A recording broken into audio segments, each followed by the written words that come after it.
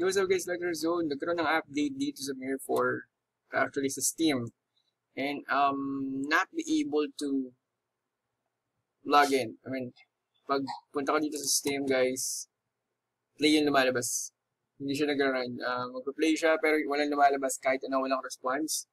But I was able to figure it out, guys, kung, kung ano yung nangyayari. And nakita niyo naman ngayon, guys, eto na siya. Nag-update pa lang siya since kaka-open, nakaka-open ko lang, kaya gumawa ako ng video baka sakaling makatulong dun to. Kung isa ka dun sa mga nag-update kanina, guys. Ah, nag-update kanina si Mirror 4 sa Steam.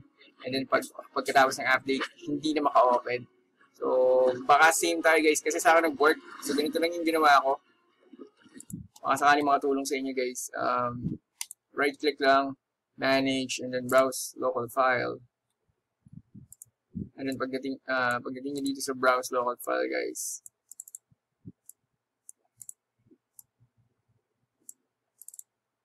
uh, pagdating sa browse local file, click nyo lang itong mir4 and then binaries and then win464 at eto lang siya guys. Ganito lang ginawa ko. Right click ko lang itong mir4s and then properties and then dito sa compatibility guys, uh, kinlik ko lang itong disable full screen optimization and then run this program as administrator, apply and okay.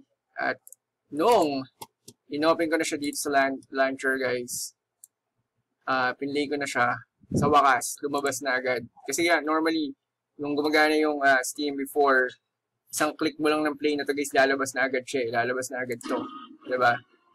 So, hindi siya lumalabas after the update. Ilang oras din ako nag, ano guys.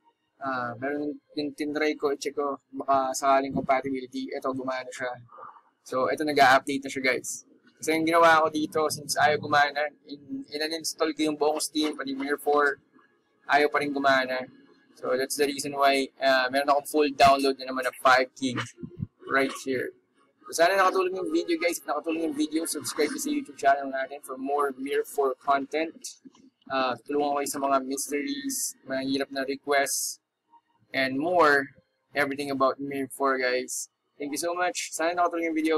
Like your zone.